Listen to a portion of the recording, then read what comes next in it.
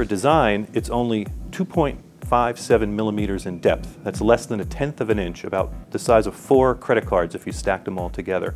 It's essentially an OLED panel on a sheet of glass, which makes a striking design statement in any room. It has an integrated soundbar that doubles as a base, or it can be wall mounted. And like any other OLED TV, it has all the performance attributes, the perfect black levels, perfect colors, perfect viewing angles. And in 2016, we're happy to announce that we are adding HDR technology with LG's HDR Pro.